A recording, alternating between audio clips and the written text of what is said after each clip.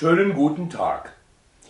Das Schüsseln der Klötzchen liegt am Trocknen und dem Verlauf der Jahresringe.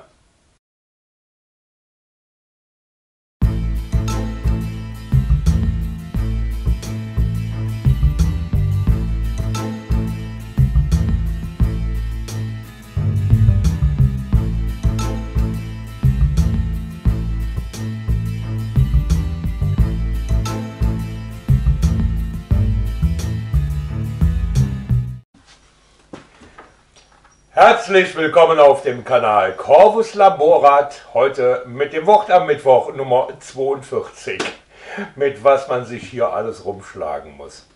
Also das eben gehörte war einer der Kommentare, die ich bei mir lesen musste. Was will uns dieser Kommentator sagen? Ist auch egal. Ähm, es gibt noch mehr so ein Blödsinn, den ich so im Laufe der Woche mal wieder irgendwo festgestellt habe. Und äh, die Highlights, die möchte ich euch kurz erläutern. In einem der Foren musste ich dann lesen, dass jemand sich für eine Bandsäge interessiert. Bandsäge ist das hier. Ja, man muss es ja schließlich sagen, weil äh, die Fragestellung war dann, ich möchte möglichst hohe und tiefe Hölzer sägen. Welche Bandsäge könnt ihr mir empfehlen? Also, ja, ähm, also ich würde mit dem möglichst hohen und tiefen Holz dann zum äh, Maschinenhändler fahren und mal gucken, ob das möglichst hohe und tiefe Holz auch durch die Bandsäge passt. dann würde ich nach Hause fahren und gucken, ob dieses Ding auch bei mir in die Werkstatt passt. Denn möglichst hohe und möglichst tiefe Schnitte kann man zum Beispiel an einem Sägewerk machen. Und die Dinger sind, glaube ich, vier bis sechs Meter hoch. Oder ähnlich, keine Ahnung. Mit solchen Sägebändern, also die Breite ist dann so. Ne, also, also Fragestellungen gibt es. Die andere war auch nicht schlecht. Und zwar ging es da darum, jemand möchte sich einen kombinierten Teller und Bandschleifer kaufen das Originalbild kann ich euch logischerweise nicht veröffentlichen, damit ihr aber seht, was ich meine. Also so Tellerschleifer und an der Motorachse ist dann da noch so ein Bandschleifer dran. Dann hat man hier vorne so eine Auflage und naja, ne? So, also Tellerschleifer hier, Auflage und Bandschleifer. Äh, Moment, den Schwachsinn muss ich ablesen.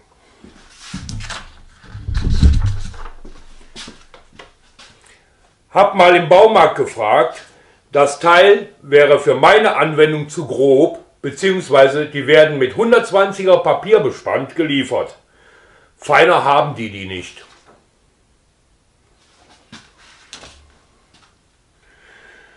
Heimwerker. Tja, so viel erstmal genug des Schabernacks.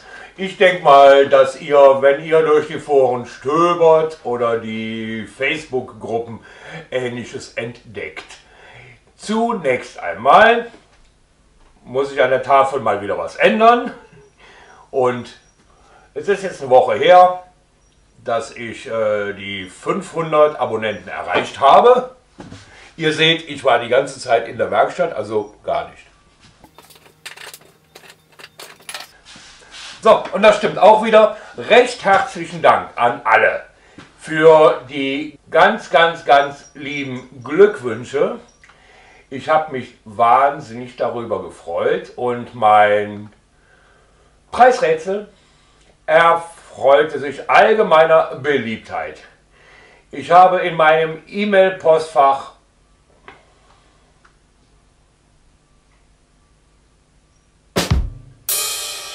vier Nachrichten.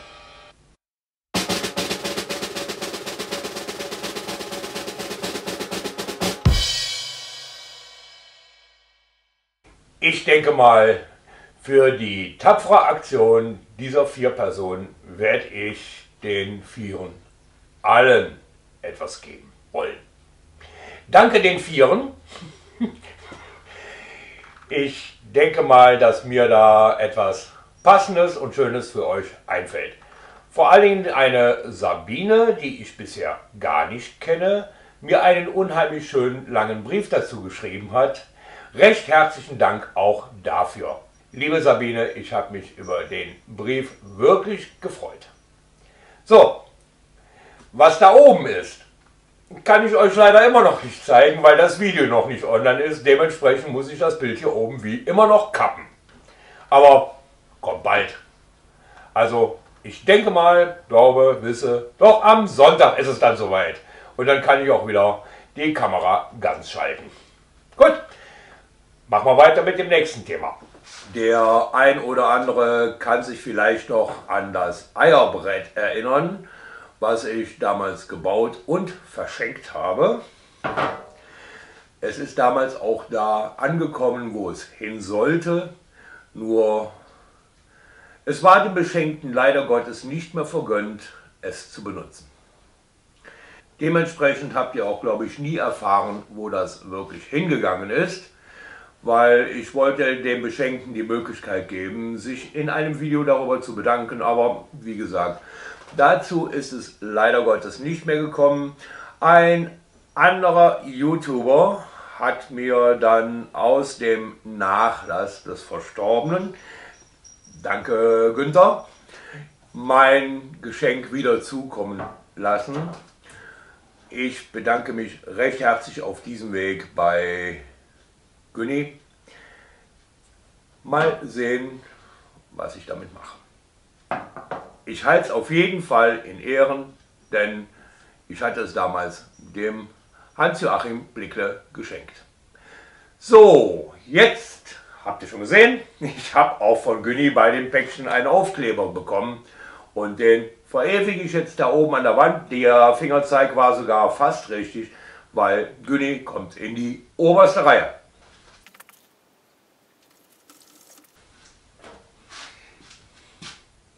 Fühl dich wohl an meiner Wand.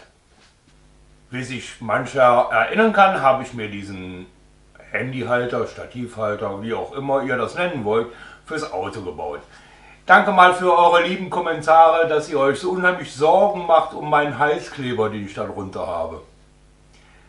Also, das Ding ist gebaut dazu, dass ich es, wie in dem Video gezeigt habe, in die Heizungsschlitz einführe, Handy draufstelle, filme, Handy weg, rausnehmen, weg, fertig. Weil, wie ihr vielleicht wisst, darf man vorne auf dem Armaturenbrett sich seine Sichtverhältnisse nicht weiter stören bei der Autofahrt. Da gibt es irgendwelche Gesetze zu und äh, ich benutze das Ding wirklich nur, um Filmaufnahmen zu machen. Und übrigens, was glaubt ihr eigentlich, was länger hält? Ein Heißkleber, der sich auf einem Lüftungskanal befindet. Ich werde im Sommer bestimmt nicht heizen, sondern kühlen in meinem Auto. Oder ein Smartphone, was installiert ist und in der brütenden Sonne unter einer Windschutzscheibe vor sich hin brät. Was glaubt ihr, was länger hält? Und ihr macht euch Sorgen um den Heißkleber. Dann komme ich nach Hause, Böp, Böp ist wieder dran. Aber mein Smartphone würde ich dann wegschmeißen. Vielen Dank für diese tollen Kommentare. Wie ihr vielleicht gemerkt habt, habe ich mich über die Besorgnis um den Heißkleber wirklich aufgeregt. Bitte, bitte, liebe Leute, überlegt euch eure Kommentare. Bitte. Bitte. Ja, und wo bin ich im Moment dran? Da. Das Video kommt dann auch noch. Hier ging es jetzt wirklich nicht weiter. Ist aber auch nicht weiter tragisch, weil ich habe noch zwei, drei Videos im Vorlauf. Das Ding hat also noch ein bisschen Zeit hier kommt jetzt eine Holzgeschichte dran, was die Holzwerker wieder interessieren könnte. Das Projekt davor hat dann mehr so mit Elektronik zu tun. Aber ich denke mal, dass ihr das äh, als geistigen Anstoß dann auch für euch nutzen könnt. Gestern konnte ich nicht in die Werkstatt, obwohl äh, ich Zeit gehabt hätte. Da meine Gemahlin hier ein wenig rumgefuhrwerkt hat, Sie hat ein eigenes Projekt laufen und wenn das dann so weit mal ausgepackt ist, dass ich das euch zeigen kann, kriegt ihr selbstverständlich davon einen kurzen Bericht. Mit Bildern. Denke ich mal. Weil wenn das klappt, was sie da tut, ist das was sehr Interessantes. Also finde ich. Dafür habe ich es auch gestern machen lassen. Bevor ich jetzt mich verabschiede von euch, bedanke ich mich nochmal recht herzlich für die ganzen Glückwünsche zu meinen 500 Abonnenten. Ich hoffe, es werden dann irgendwann mal mehr werden. Bis dahin, ich wünsche euch eine angenehme Zeit. Habt noch eine schöne Restwoche. Bis dann, euer Corvus Labora, Zack, Winke, Winke und tschüss.